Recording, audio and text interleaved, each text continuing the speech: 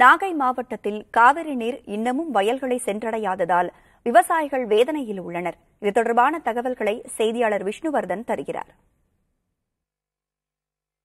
Delta பாசனத்திற்காக ஆண்டுதோறும் மேட்டூரிலிருந்து திறக்கப்படும் தண்ணீரை கொண்டு குறுவை சம்பா தாளடி பயிர்களை மாவட்ட விவசாயிகள் மேற்கொண்டு வருகின்றனர்.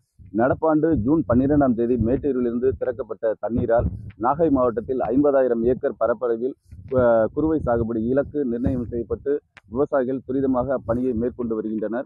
கடந்த சில நாட்களுக்கு முன்பு வந்து சேர்ந்த காவிரி நீரை விவசாயிகள் மலர் தூவி வரவேற்றனர். ஆறுகளுக்கு வந்த நீர் ஆற்றோடு நிற்பதே தவிர வாய்க்கால்களுக்கோ வ- வயல்களுக்கோ வந்து சேரவில்லை என்று விவசாயிகள் வந்து வருத்தம் தெரிவித்திருக்கின்றனர்.